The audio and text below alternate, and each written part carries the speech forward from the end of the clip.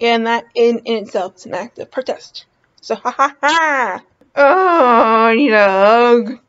What's been happening? Two things are happening. One, uh, Medicaid. Setting it up is a royal pain in the ass, and many people have said to me, I really think that they go out of their way to make the process of getting it and setting it up as complicated as early possible so that people in need just like quit out of exhaustion and then the government saves money. And I've I do not doubt that.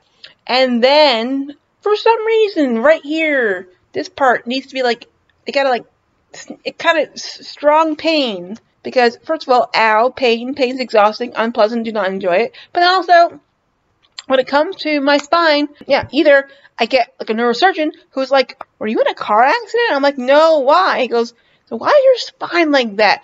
Good fucking question. Yet when it was time to maybe talk about giving me a spine brace, he's like, mm, "You don't want that. That shaves.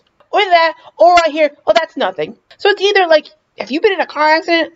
but I'm not going to help you, or that's nothing. I'm not going to help you. So it just leads me to be sometimes being a shitload of pain at times and figure it out myself. And it's just, it's just.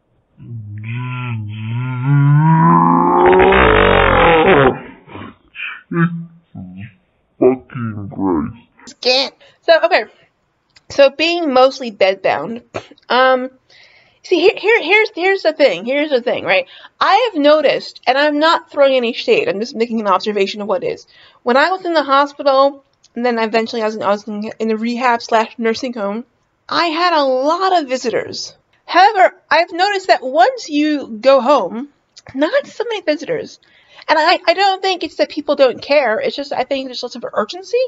I think that's what happens. And plus, people have lives. You know, it, it's it's fine. People make it a priority to see you for a short period of time, but after a while, they can't. They have the other shit. To, you know, they have, everyone has their own shit to deal with, right? So a lot of times, my main form of socialization is either my home health aide, but most of the time, depending on who's working and whatnot, it's social media, and really the majority of it is Twitter, which is a mixed thing. It's like there's times where it's depressing. There's times where people go out of their way to like create and then share misinformation to purposely fan the flames of hatred, or people who go out of their way to troll people in hopes to get a rise out of them. Maybe a national disaster or yet another shooting. As, as, and as of late, there's been a lot of shootings happening. But there are times when I do feel a sense of community. It's it's when I have very geeky and nerdy conversation with people, or we, you know, I bond with random strangers over activism.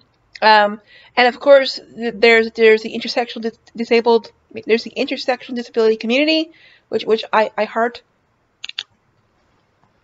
Oh, it really hurts. Every time I post something, whether it's via this YouTube show or I post a tweet or something like that, I think mostly bedbound without fail, someone else who is sometimes or mostly or all bedbound and or, ho- or homebound, housebound, um, goes, oh my god, me too. And I'm like, oh, that's like the fifth person out there who's like, can kind of relate to what I'm going through. And more and more I start to share, you know, like, of my experience, more and more I kept, I'm like, there are a lot of us out here, and we are on Twitter and social media. What happened was uh, there's this lovely human being named Dove, uh, shout out to Dove, who had sent me a DM or a, best, a private message on Twitter. And I said, hey, you know, by the way, is there a hashtag for people who are like all or mostly or sometimes bedbound and are homebound, where we can all like hang out with each other? Because Dove is is is is, uh, is mostly home, homebound.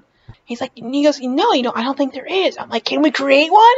So that's when we, we started brainstorming. Like at, at first, it was like he was like, well, like like hashtag stuck at home. And then I was like, well, you know, like I, you know, I don't want to feel like, so we're stuck at home. It's so tragic. I wanted to be somewhat like poetic and like badass. And that's when I was like, how about like Staycay Collective? Because I like the word collective. Collective sounds like, you know, cool, you know. And then he's like, yeah, he goes, you know, I like the word collective too, but the word Stay staycay is like meaning like like a staycation, meaning like do vacation at home. It kind of suggests this is by choice. We're just gonna have vacation. Whereas it's really not by choice. I'm like, true, it's true. So, but he liked the word collective. So we did, we just started, and then I was like, oh, you know, it, it's a, it's a shame we, we can't use the word homies because that would be perfect for us. But of course, that co-ops hip hop culture, which we, we want to do. And then he's like, well, how about like homebodies? And then he's like, he's like, homebodies collective. I'm like, yes, that's it, that's it. And what do you think? Leave your comments in the comment section. That's where they belong. Be good to yourself. Be kind to yourselves. Uh, I say to you and to myself. Sometimes I too need a reminder. Uh, you know, let's have solidarity for each other. Leave no oppressed group behind, right? Another world is possible, y'all. Let's do this, but no oppressed group behind. And that includes stable people. That's something people forget. We are one of the largest minorities within our own right, and we also exist within every marginalized demographic. So, so again, thanks for watching this video. Bye!